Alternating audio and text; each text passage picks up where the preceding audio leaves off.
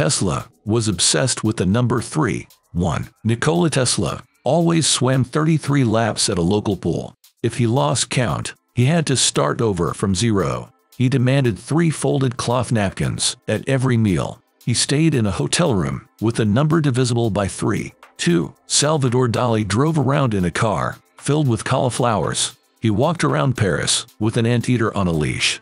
Dali bought her a castle for his wife Gala. He was allowed to visit her only with a written invitation. 3. Voltaire drank 50 cups of coffee a day.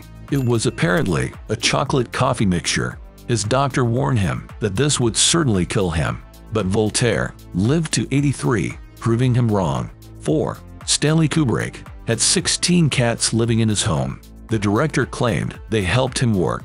Later, he added four donkeys and seven golden retrievers.